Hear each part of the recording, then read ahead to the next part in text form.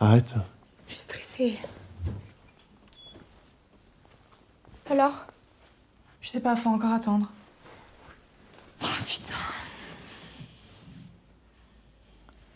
Mia, on est là pour toi.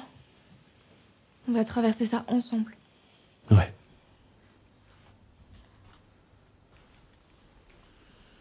Un bébé, c'est dur. Mais il pourra changer ta vie. Mais Elias, elle va pas le garder si elle est enceinte. Et pourquoi pas? C'est normal qu'elle panique là. Mais c'est un nouveau départ qui l'attend. L'écoute pas. Mia. Et ici, t'as une vie stable. T'as ton taf, t'as tes études. T'as de l'ambition, mon cœur. Tu vas pas aller tout pourrir pour un gosse. Eh, Noah. Tu sais très bien qu'elle aime pas ses études à Sciences Po. hein. Elle aurait enfin la possibilité de redémarrer quelque chose de nouveau. Elle aurait enfin un but. Mais putain, mais regarde-moi Regarde cet appart Tous les meubles ont été récupérés chez Emmaüs. Je fais comment avec un bébé, moi? Faut que je paye le lait, les couches, euh, la babysitter? Ce serait trop galère.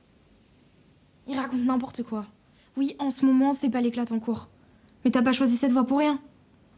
Tu te lèves tout le week-end, tu vas manifester, t'es dans plein d'assauts, t'as des choses à dire. C'est ça ta voix. Avec un bébé, tout ça, c'est plus possible. Ça serait trop mignon, Mini, toi. Moi, je serais super gaga, c'est sûr. Tu sais même pas qui est le père. Et alors? Elle est pas seule? Moi, je suis là, je t'aiderai. J'irai chercher à la crèche. Je changerai même les couches s'il faut. Mia, t'as 20 ans. C'est normal que tu sois perdue. Mais ça va aller, tu. Tu le voulais pas de base. Tu vas pas changer d'avis en deux minutes. On décide pas d'avoir un bébé comme ça sur un coup de tête. Et... Tu te rends compte du bonheur qu'il pourrait t'apporter